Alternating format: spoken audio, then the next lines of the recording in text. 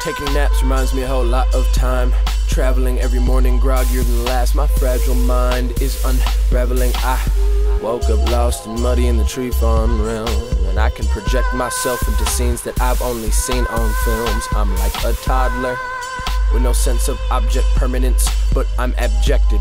And I'm mighty sure that's gonna be permanent. I name myself after a fictional character, which says a lot about my mental health and various barriers that I've constructed, like a manically depressed Bob the Builder, attempting to reject my desires and ask what the fuck do we have Wilfer?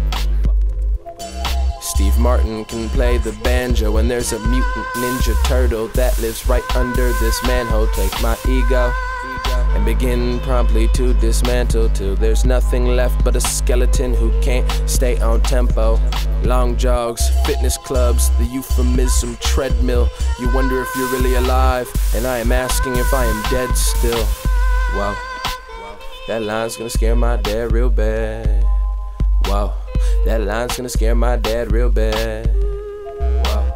These fallacies are tempting. I wonder if I write Rob another song, will that add to my redemption? I can't ride a skateboard, but I'll replace your ball bearings. People in malls think I'm so fucking scary. Straight edge, vegetarian, but I can't let go of these red herrings.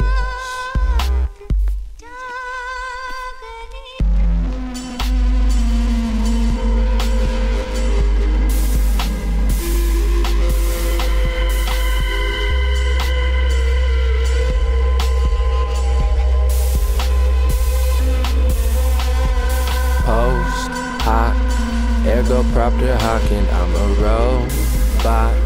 Can't can't stay on top and it goes post hoc. Ergo propter hocking i'm a robot. You can't can't stay on top and it goes post hoc. Ergo propter hocking i'm a robot. You can't can't stay on top and it goes post hoc. Ergo propter hocking i'm a robot you can't, can't stay on top and it goes post hoc. Ergo propter hocking, I'm a robot. You can't, can't stay on top and it goes post hoc. Ergo propter hocking, I'm a robot. You can't, can't stay on top and it goes.